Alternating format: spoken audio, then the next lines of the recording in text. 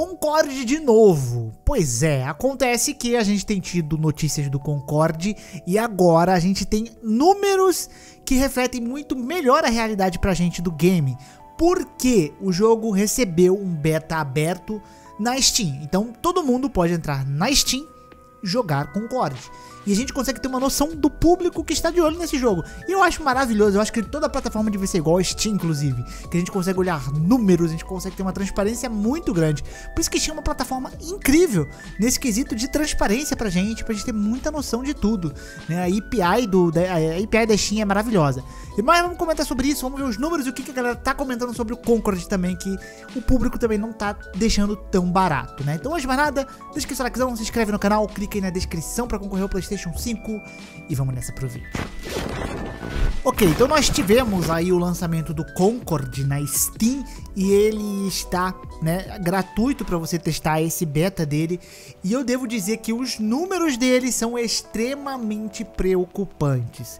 E eu não sei qual vai ser a abordagem da Sony para isso, porque é óbvio que a Sony tá ciente da recepção negativa do público e tá ciente dos números. Tanto que ela já deu sinais de estar tá ciente desse número, de estar tá preocupada com esses números pelo fato de que o jogo ele recebeu, foi antecipado no PlayStation, né, para você poder jogar se você tivesse a Plus. Então ele ia sair agora, né, junto com o PC, se eu não me engano, e ele foi antecipado para você jogar na Plus.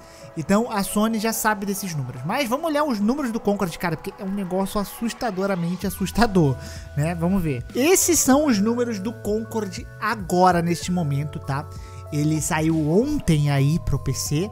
É, a gente já tá chegando no final de semana, tá? E ele teve um número de o pico de 2.300 jogadores, tá? E agora tem 1.800 pessoas jogando. Geralmente o pico de jogos na Steam, eles são no domingo, né? A gente tá no sexta para sábado aqui no final de semana. Pode ser que no domingo esse número quebre um pouquinho essa barreira. Mas eu não acho que nem chega a 3 mil, tá? Mas a gente tem basicamente esses números iniciais. E eles são extremamente baixos, cara. Ter um pico de 2.300 jogadores num jogo que é 100% multiplayer é extremamente preocupante pro Concord. E ele tá com esses números péssimos, terríveis números. Muito ruim mesmo, né? E vamos aqui dar uma comparada em outros jogos, cara, pra gente dar uma olhada. A gente tem o próprio jogo do Esquadrão, que foi um flop, um flop tremendo, e ainda assim o jogo do Esquadrão conseguiu um pico bem maior que o Concord. E a gente tem que lembrar, o jogo do Esquadrão, ele é um jogo pago. É um jogo que custou 300 pila, basicamente. Teve 13 mil pessoas jogando, enquanto o Concord está no beta aberto. Qualquer um pode jogar o beta de Concord, qualquer um. Você pode ir lá solicitar o beta, acabei de fazer isso, ele vai aprovar para você. Então, já é uma discrepância. Mas, se a gente for notar aqui, a gente tem números próximos a Redfall, cara. Redfall teve um pico de 1.500 jogadores. O Concord tá mil a mais ali, né? Só que a gente tem que lembrar outro detalhe. Redfall, ele era pago aqui e tava de graça no Game Pass. Apesar de ser um jogo ruim, mas os números são próximos de um Redfall. Cara, isso é bizarro. É bizarramente ruim pro game. Então o Concord, ele tá com isso aqui de números, né? E isso aqui é muito preocupante. A, a Sony deve estar desesperada, talvez. Não sei, né? Por causa dos gastos que tem para esse jogo. E olhar para esses números aqui é falar, nossa, é, os desenvolvedores devem estar muito preocupados, toda a equipe deve estar muito preocupada. É triste, né, ver esse cenário, mas quem aprovou um projeto de um jogo desse jeito é o culpado. Quem não olhou pro mercado e falou, nossa, isso aqui vai dar certo, não vai? É o culpado, porque não, não é possível que teve uma pesquisa séria de mercado para achar que o Concord daria certo, né? Então, esses aqui são os números do Concord que nós temos agora na Steam. Péssimos preocupante. Mano, se esse jogo ele continuar gratuito, continuar pago, eu não sei como é que vai ser o lançamento dele. Estou curioso para ver, tá? E com isso, a gente vai ver também a recepção de muitas pessoas em relação ao próprio Concord. Muitos, basicamente você não vê quase comentários positivos, tá? Os comentários positivos que tem são comentários até que eu falei aqui. A gameplay algumas pessoas elogiam, só que todo o resto do contexto não vale a pena do game. Vamos dar uma olhada. A gente teve um post oficial aí publicado pelo canal da PlayStation, né? Que foi hoje, aqui, né? É, quatro horas atrás, quase, do momento que eu estou gravando, né? Dia 19 às 6 horas da tarde. E a gente tem aqui falando, né, sobre o beta está aberto, que a gente tem quatro modos, cinco mapas, 16 ali heróizinhos, né? Está disponível aberto pro PlayStation 5 PC. Agora no PlayStation 5, se eu não me engano, se você não tiver Plus, acho que dá pra jogar também, né? Aí, vamos ler aqui os comentários, né? Eu serei corajoso e irei dizer, esse jogo não está bom. Bastante like aqui, né? Cancelei a minha pré-order depois do beta. A gameplay é boa, mas eu simplesmente não ligo para nenhum dos heróis. Eu vou ficar com o meu Overwatch agora. E, cara, é isso, cara. O Overwatch, cara, é muito mais carismático, embora tenha até heróizinhos legais ali. Muito mais carismático, é de graça, é muito melhor, né? E aqui os caras falando, ninguém vai jogar esse jogo, né? E falando também, né, do fato dos personagens, do visual dos personagens. Esse jogo já está falido desde o começo, né? E postou aqui os prints e muitas reclamações, muitas reclamações dos jogadores da Steam relacionado principalmente a, a, ide, a ideologias que muitos estão apontando para o Conqueror também é muita reclamação, visuais dos personagens, etc. É, talvez vocês quebrem 500 jogadores ativos. Será que vale a pena?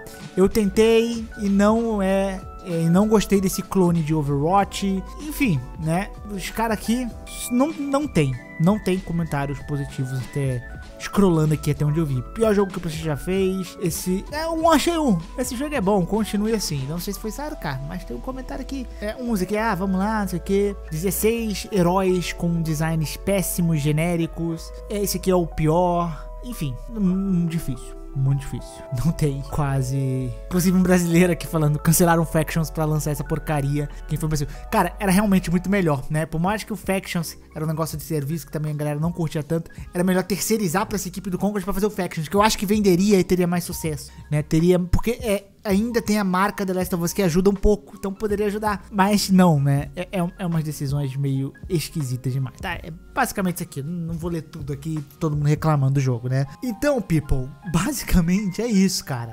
O Concord, ele tá fadado a dar errado, né? E esses números mostram, principalmente, eu acho que esse número é ruim até para as poucas pré-vendas que esse jogo possivelmente teve, né? Porque o cara que fez a pré-venda, ele olha para ele e fala: "Cara, eu vou jogar um jogo que no lançamento não vai ter ninguém para eu jogar com. E eu não tenho nenhum single player". Né? O cara vai olhar por que, que eu vou pagar isso aqui no, no na, na pré-ordem, cara? Porque se, se no beta aberto, que ninguém pagou nada, beta aberto, tem 2 mil jogadores, mil jogadores, isso no primeiro dia, no lançamento desse negócio aqui não vai conseguir bater 500 jogadores, cara. Eu acho difícil bater 500 jogadores. Você não vai ter pessoas para você jogar o Conqueror. Não, vão, não vai ter matchmaking pro game. Então isso é preocupante. E isso aqui virou meio que um negativo até pra Sony. Porque, assim, eu sei que a ideia deles foi assim: vamos deixar aberto, cara, que é pro pessoal olhar e falar: ó, olha aqui o nosso jogo, dá uma chance para ele. Só que a galera não deu essa chance, não se interessou em dar essa chance também. E isso daí acaba atingindo o cara que fez a pré-ordem. O cara que fez a pré-ordem olha para isso e fala: Não, eu não vou, não vou comprar isso aqui. Não vai valer a pena. Vou cancelar minha pré-ordem. Então, ele acabou sendo o, o, Open Beta do Concord. Talvez era melhor não ter tido Open Beta. Ele foi um negócio na contramão. Eu acho que foi mais um marketing negativo pro próprio game, tá? Então a gente tem esse problema aí com Concord em relação aos seus números.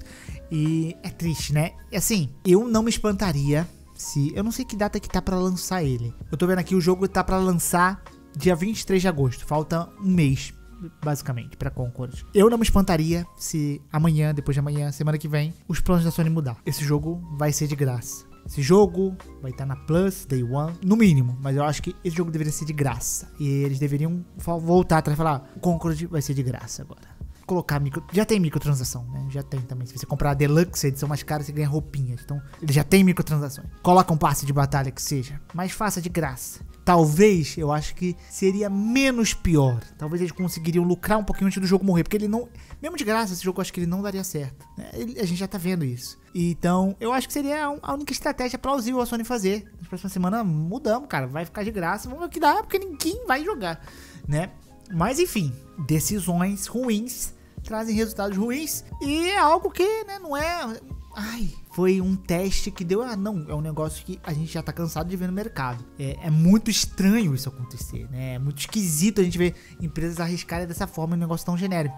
Tal, não sei se esse jogo já tava no papel há muito tempo atrás e falou, pô, já, já que tá aí, faz. Eu queria muito saber os bastidores do Concord, né? Mas é isso. O jogo O Concord é um desastre, vai ser um desastre, independente se ele ficar de graça ou não. Esse jogo, nos próximas semanas, meses que lançar, vai estar fechando servidores, vai estar sem público. E esse é o resultado da indústria de muitos jogos genéricos e como serviço. Como serviço já é difícil, então quando ele já é genérico e como serviço, é pior ainda. É o caso do Concord. E é isso. Espero que tenham gostado desse vídeo. Um beijo, um abraço, beijo, até a próxima. Tchau, tchau.